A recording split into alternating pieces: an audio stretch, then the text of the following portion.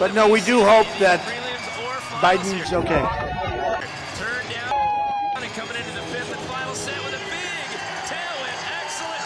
Did anybody see it?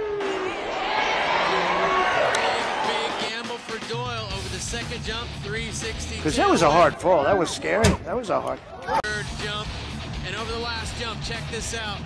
Tail whip, X up, little Superman to that dude. Well, we wish him well in that respect.